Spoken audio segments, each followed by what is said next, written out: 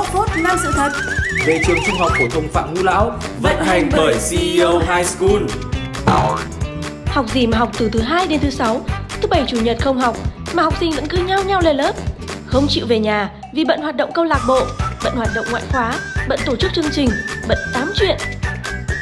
Các cô y tế quan tâm quá mức, đau bụng một chút cũng bắt học sinh đến phòng y tế kiểm tra ngay. Một ngày hỏi hàng 6 lần xem có còn đau không.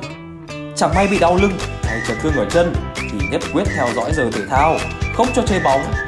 Lâu lâu còn tâm sự chim én, hỏi thăm học sinh như con em trong nhà.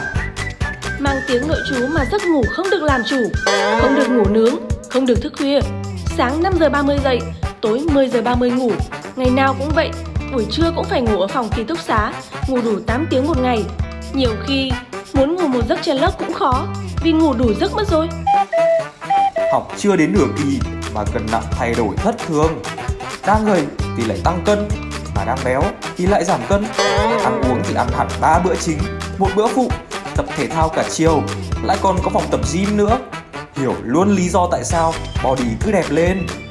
Có điều kiện đặt đồ Shopee thì nhất định có người ship tận tình từ cổng trường đến phòng công tác học sinh. Người mà học sinh nào cũng biết